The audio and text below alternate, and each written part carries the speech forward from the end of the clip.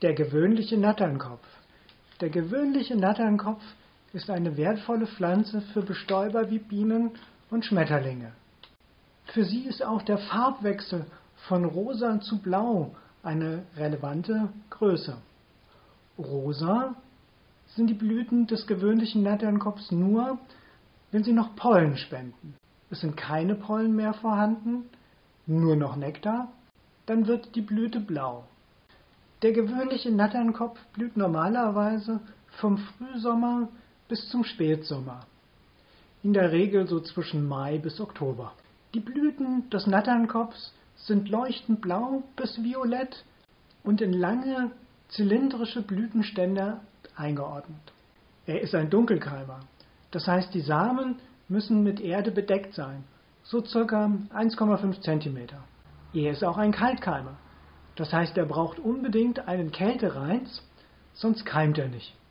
Dann aber bei einer Keimtemperatur von mindestens 15 bis maximal 20 Grad über eine Dauer von 20 bis 30 Tagen, dann keimen die Samen. Wenn ihr die Samen kauft, nicht wundern, 1000 Samen wiegen nur 2,9 Gramm.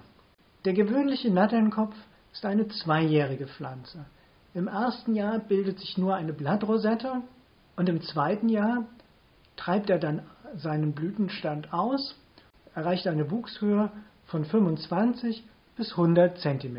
Er bevorzugt sonnige Standorte und gedeiht wirklich am besten in voller Sonne. Der Boden sollte durchlässig, sandig und nährstoffarm sein. Der Natternkopf toleriert aber auch trockene Bedingungen und ist daher in der Lage, in kargen Böden zu wachsen. Denn das Besondere an dieser schönen Pflanze ist, sie hat eine bis zu zwei Meter tiefe Pfahlwurzel. Gerade weil der gewöhnliche Natternkopf eine heimische Wildpflanze ist, ist er auch aufgrund seiner auffälligen Blütenstände eine beliebte Zierpflanze in Gärten.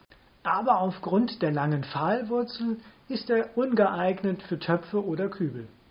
Als wurffähiger Seedball kann er zudem seine Eigenschaften als blühende Pionierpflanze voll ausspielen und die Samen sind vor Fressfeinden super geschützt.